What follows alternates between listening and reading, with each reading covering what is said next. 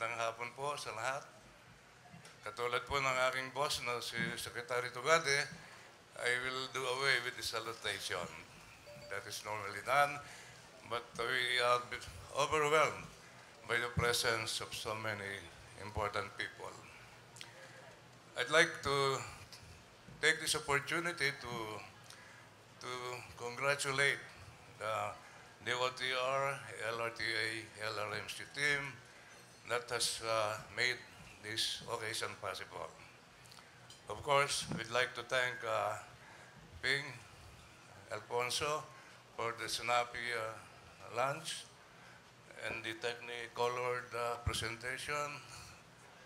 Again, my congratulations to all who have uh, worked hard for this. And thank you again. But certainly, this is not the end.